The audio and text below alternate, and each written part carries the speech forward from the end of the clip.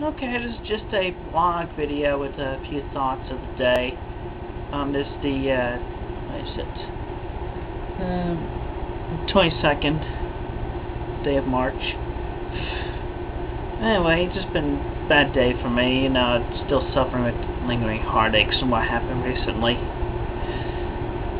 Mm. And, uh, also, you know, another thought, you know, I just feel like, I just feel like, I just feel like sharing, you know, on the Cleveland show, you know, I liked Nia Long a lot better as the voice of Roberta Tubbs.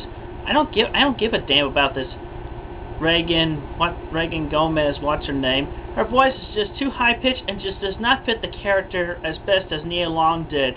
Seth would be Seth and uh, Mike Henry would uh, Seth MacFarlane and Mike Henry would do themselves a big favor by putting Nia Long back as the voice of Roberta. Anyway, it's just food for thought for today, so leave y'all with that.